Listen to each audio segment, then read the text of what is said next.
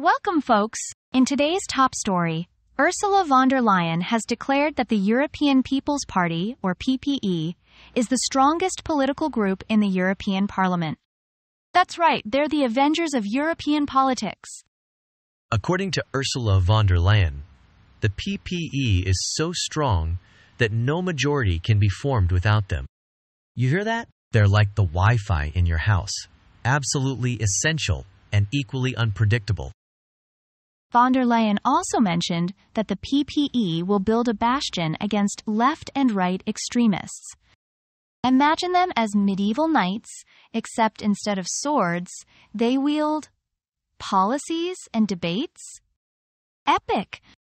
Meanwhile, the French and German governments are apparently shaken by this news. Maybe they should consider investing in some political shock absorbers. And in other news, Italian athlete Pietro Riva waved ciao ciao to his competitor during the European Athletics Championship and nearly got disqualified. Talk about competitive spirit! Stay tuned for more hilarious updates.